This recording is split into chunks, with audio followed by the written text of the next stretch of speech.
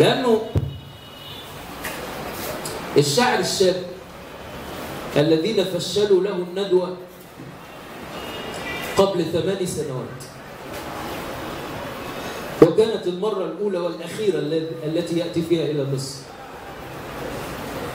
أظلموا القاعة حتى لا يعقد ندوته. هو ما زال يكتب. لكن لابد أن نفكر. هذه المعارك تستنزف من المبدع. وأنا أعتقد أن أي مبدع حقيقي له معركة أو له معارك.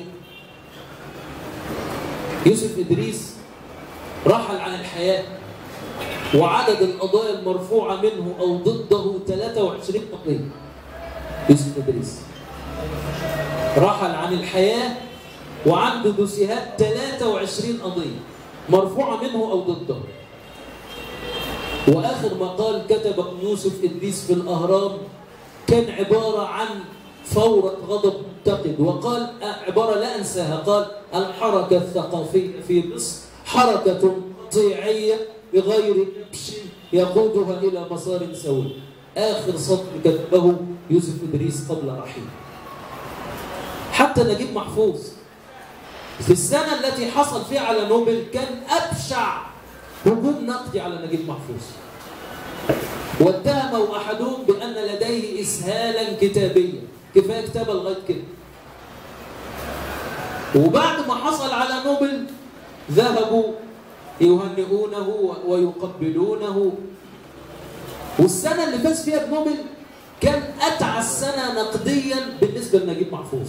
هجوم بشع. أنت تجرر نفسك لا تكتب شيئا لغتك عقيمة خيالك معطوب قيل هذا الكلام. زد على هذا إنه في أطراف عربية ليست بريئه في التعامل مع الحالة المصرية. هقول لكم حاجة مثلا أدونيس. أدونيس لا يطيق مصر ولا يطيق المصريين. ويوم حصل نجيب محفوظ على نوبل ما قدرش يمنع نفسه وكتب يقول هذه جائزة عوراء تنظر بنصف عين لا في السنة اللي فاز فيها نجيب محفوظ.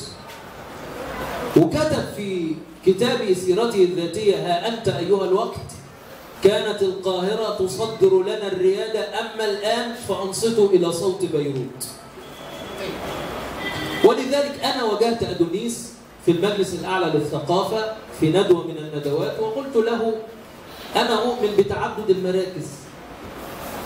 وبالمناسبة المصريون لا يشغلهم أن يقمعوا أصوات الآخرين.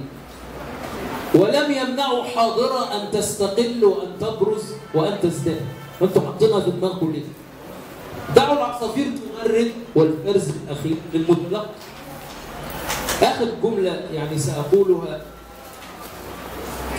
أنطونيو جرامشي أنا أحد المعجبين بتجربته جدا. لأن أنطونيو جرامشي كان يضع في اعتباره شيء نكتب لنغير. فإذا مضت سنوات ولم يستطع نصك أن يغير فلا بد أن تكون وقافا ورجاعا لاستراتيجيتك وطريقتك في الكتاب. أنطونيو جرامشي ترك لنا ثلاثين كتابا اسمها الدفاتر الدفتر الأول والدفتر الثاني والدفتر الثالث. وأنطونيو جرامشي أحد الذين كانوا مهمومين بقضية التأويل أنا طب ما أنا بطبع كتب. لكن ماذا بعد طباعة الكتب؟ اللغة العربية في مصر حالتها من سيء إلى أسوأ. حتى إن الإيكونومست قبل عشر سنوات وعلى صدر صفحتها الأولى تنبأت بانقراض اللغة العربية في مدى نصف قرن. إذا استمرت مناهج التعليم بهذه الصورة. طبعا هذه رؤية كابوسية كفكاوية لا تلزمنا لكن فعلا أوضاع اللغة العربية تمر بمنعطفات أزمة. عندنا النشر فيه أزمة. طباعة الكتاب الأول فيه أزمة. التغطية الصحفية للإصدارات المهمة فيها أزمة. هل أنت عندما تقتني جريدة أخبار الأدب أو جريدة القاهرة أو أو أو هل هذا مؤشر كاشف للمشهد الإبداعي الآن؟ لا. لأن الكتب المهمة والمتحققة أحيانا أصحابها حتى يعتم عليهم ويحاربون